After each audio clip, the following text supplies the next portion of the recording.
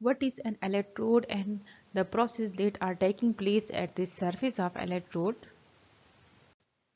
An electrode by definition is a point where current enters or leaves the electrolyte, which means that either current will flow towards the electrode or away from the electrode. It makes an electrical contact with the non-metallic part of the circuit. The surface of electrode acts as a side for redox equilibrium. That equilibrium is between solution or electrolyte and the metal rod or metal plate that act as an electrode. Now for understanding the electrode, we will consider a electrolyte solution that is M plus and a metal rod is dipped into it. By imposing the more negative potential to this electrode through a battery, the electron will flow out from this electrode and the metal at the surface of electrode will come towards the electrolyte. Now the electron that are released from the surface of electrode will, will move towards the external circuit. If we connect this half cell with another half cell containing the electrolyte, and a metal rod is dipped into it that acts as an electrode. The electron that are removing from the first uh, half cell will move towards the second half cell and the electrode will gain the electron now the metal ion that are present in the electrolyte will move towards the electrode. At this electrode the reduction will takes place which mean the gain of electron will takes place and the metal ion from the electrolyte will deposit at the surface of electrode. Now here the two phenomena occurs.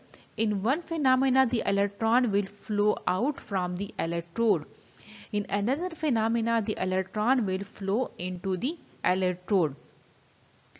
In first cell, where the electron will flow out from the electrode that is act as an anode and another half cell in which the electrode is gaining the electron is known as cathode. Now there is loss of electron, loss of electron is known as oxidation.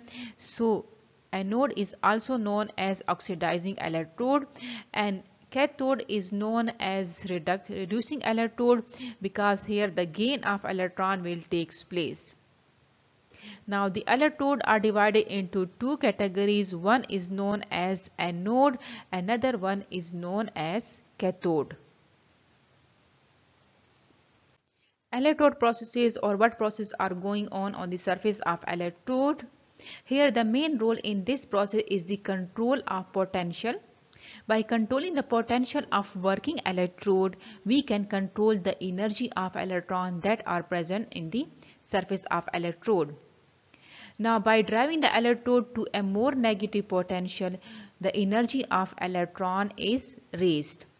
They can reach a level high enough to transfer into the vacant electronic states on the species of electrolyte. In that case, the flow of electron from the electrode to the solution will takes place which resulted in the reduction current. Similarly, the energy of electron can be lowered by imposing a more positive potential. At that point, the electron in the solute in the electrolyte will found a more favorable energy on the electrode and will transfer there. Here in this case the electron will flow from the solution towards the electrode that result in the oxidation current. Now here we, uh, we study the two processes. One is the loss of electron from the electrode.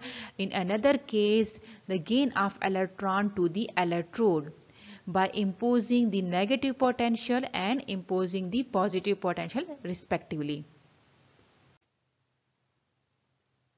You can subscribe the channel for more videos.